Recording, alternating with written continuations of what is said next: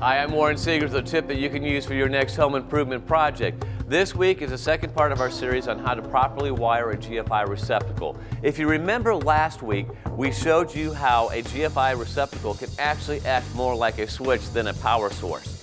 And that's all in the wiring. In this situation, it was actually a daisy chain how they wired a GFI receptacle. The main power source comes into the bottom of the receptacle. Coming off the top, they've run off the top taking the power from that receptacle to our switch.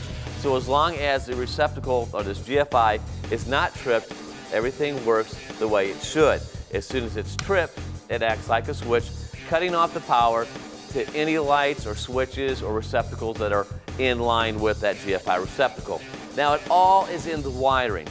And instead of da daisy chaining the power off of this GFI receptacle, if you add pigtails instead, you're not going to have this problem.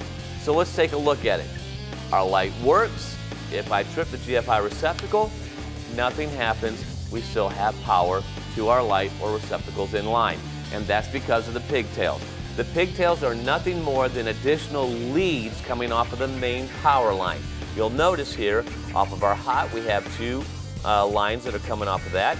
We have two lines coming off of our ground, and we have two lines coming off our neutral. As far as for the hot, one comes off going to the GFI and one goes to our light switch. That gives power to each on its own. For the neutral, one goes to the GFI and the other goes to the actual light, completing our circuit. And of course, all your ground wires always get tied together.